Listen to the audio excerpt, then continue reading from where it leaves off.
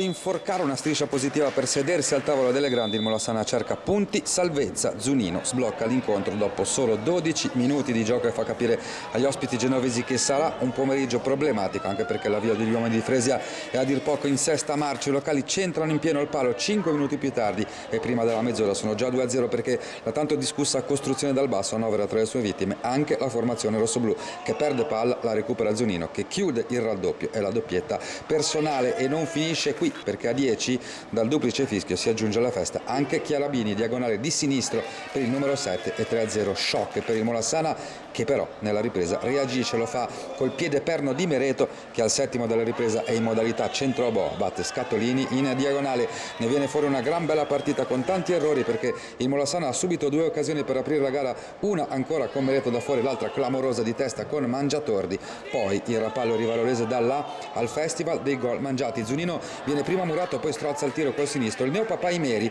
a proposito auguri a lui, mamma Stefania e nonna Anna Maria e benvenuta Noemi, calcia dritto per dritto dal limite dell'area di rigore, infine Chiarabini viene murato da Carlucci e allora alla fine il Molassana. La riapre veramente col colpo di testa su angolo da sinistra di Farina, è l'85esimo e il Rapallo non soffre più di tanto anche se Scatolini deve volare su una sassata da fuori area, terza vittoria in campionato per i padroni di casa, il Molassana rimane ultimo insieme a Cadimare e Sestrese.